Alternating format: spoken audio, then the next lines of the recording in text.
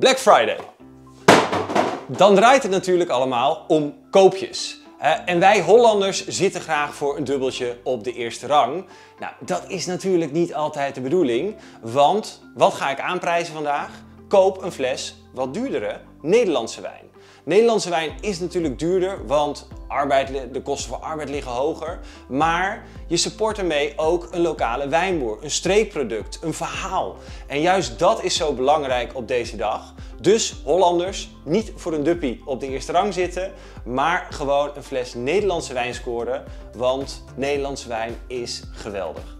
Wijn in Nederland komt natuurlijk uit alle twaalfde provinciën. Daar sta je vaak niet bij stil, maar in elke provincie in Nederland wordt wijn gemaakt.